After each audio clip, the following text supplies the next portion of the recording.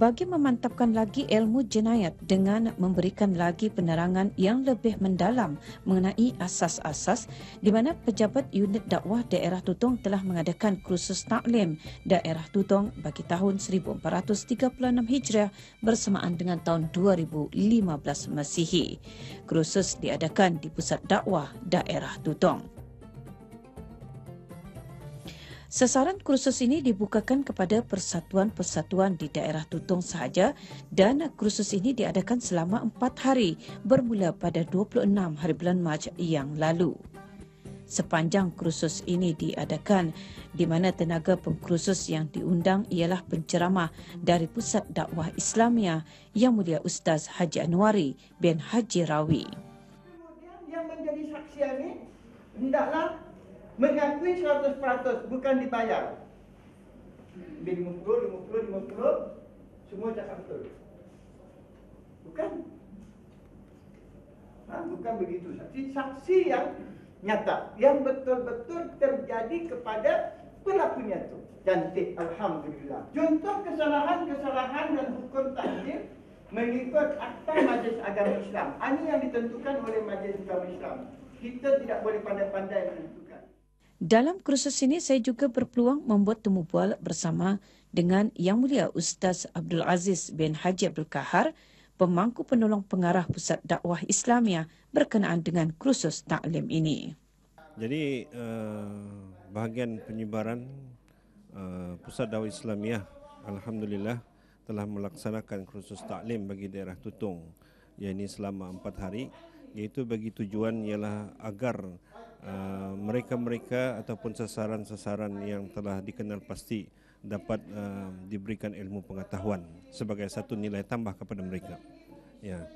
Jadi di dalam uh, kursus taklim ini uh, lebih uh, untuk uh, pada tahun ini uh, ditujukan kepada uh, uh, ilmu mengenai dengan jenayat. Jadi sasaran yang uh, bagi mereka-mereka yang mengikuti uh, taklim bagi daerah Tutong adalah orang-orang yang berpensin dan uh, individu-individu yang berminat untuk uh, sama-sama mencari ilmu pengetahuan agar masyarakat kita uh, khususnya di daerah Tutong ini akan mengetahui lebih mendalam mengenai dengan uh, khususnya undang-undang jenayah uh, yang insya-Allah yang akan kita laksanakan dan sedang dalam proses untuk pelaksanaannya agar sampai kepada uh, matlamat memberikan ilmu pengetahuan. Alhamdulillah untuk tahun ini kita telah pun merangka dan menjedual semua keempat-empat daerah akan kita ni ampiti uh, ilmu uh, uh, taklim ini.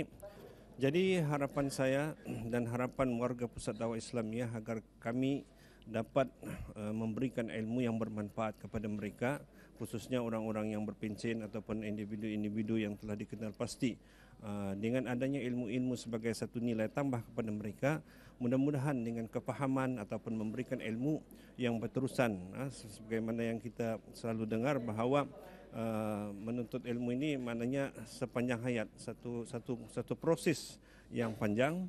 Jadi bila masyarakat kita berilmu maka akan memudahkan lagi apa-apa pun uh, yang akan dilaksanakan di masa akan datang insyaallah. Seramai lebih 30 orang peserta telah pun menyertai kursus ini yang terdiri daripada berahli-ahli persatuan yang ada di daerah Tutong ini iaitu termasuk dari Muslimah Masjid Kampung Birau, Muslimah Masjid Kampung Lubuk Pulau dan Muslimah Masjid dari Hasanal Bolkiah Pekan Tutong.